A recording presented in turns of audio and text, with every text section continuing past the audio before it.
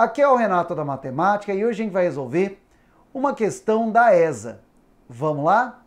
Em uma escola particular, foi feita uma entrevista com 200 alunos sobre o curso de língua estrangeira.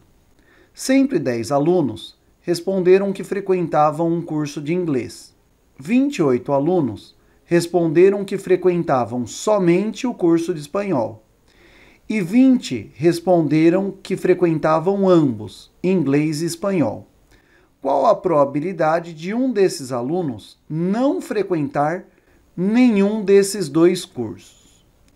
Bom, gente, esse tipo de problema é um problema de conjunto. Então, eu estou mostrando aqui o universo. Tem os alunos que frequentam o curso de inglês, o de espanhol. Aqui é a região que frequenta inglês e espanhol. E aqui é a região que não frequenta ninguém. Como todos os exercícios de conjunto, a gente sempre começa da interseção.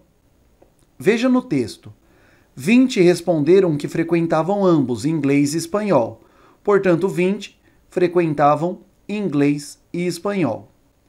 28 alunos responderam que frequentavam somente o curso de espanhol. Somente o curso de espanhol, 28. Portanto, espanhol seria toda essa região. Mas 28 são somente espanhol, que é essa região aqui é a mesma coisa que espanhol, mas não inglês. Espanhol, mas não inglês seria essa regiãozinha aqui. Portanto, 28 estaria aqui. 110 alunos responderam que frequentavam um curso de inglês. 110 é o curso de inglês. Só que aqui já tem 20. Não é somente inglês. É inglês no total. Aqui já tem 20. 110 menos 20 vai dar 90. Então, 90 alunos frequentam somente o curso de inglês. Se eu somar tudo isso, 90 mais 10, 110, 110 mais 28, 138. Como tem 200 alunos, 200 menos 138 seria igual a 62. Portanto, 62 alunos não frequentam o curso nem de inglês, nem de espanhol o autor quer qual a probabilidade de um desses alunos não frequentar nenhum desses cursos.